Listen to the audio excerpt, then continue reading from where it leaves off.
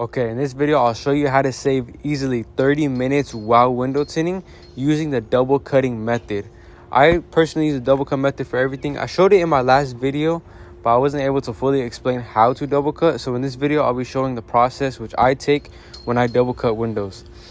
As you see I'm making sure that you want to peel back the liner just a little bit, just a small corner, so you can make sure that the clear liner on for the first layer is facing the inside of the car and for the top layer you want that clear liner to be facing you just so that you get the cutout for both windows and you don't cut anything backwards because that can happen if they're not laid correctly. If you have two liners facing you then you have two cutouts for the same window and vice versa. I'm just tacking it down. I'm using a gold sharpie. You can use silver. Anything that shows on black works perfectly fine. Here as you can see i'm not putting too much pressure. I'm just using the pressure of the marker. I'm not pressing it hard I'm just simply tracing it out. Here, I rolled it down just a little bit just so that I can get the top edge. And I want to go make sure I go all the way up so I know exactly where I'm cutting when I put it on the pill board. Here, I'm using my stainless steel OLFA. That You want to use stainless steel OLFAs because the carbon blades do tend to scratch. So you stainless steel. You want to run it across the top at a 45 degree angle. And you just want to make sure your blade is fresh just so that you get a clean edge especially at first if you don't know how to shave. Yeah i'll show a video on that too.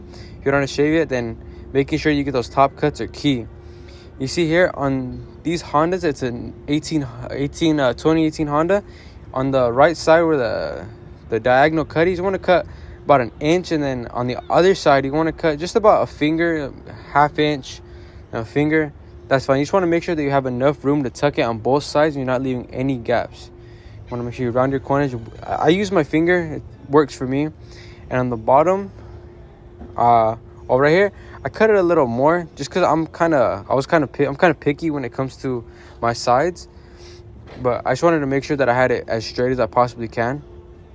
But at the end of the day, that's all going to be tucked into the window, so it's okay. And on the bottom, I want to cut at least two fingers so that I have enough room to tuck it all the way on the bottom. See, there you go.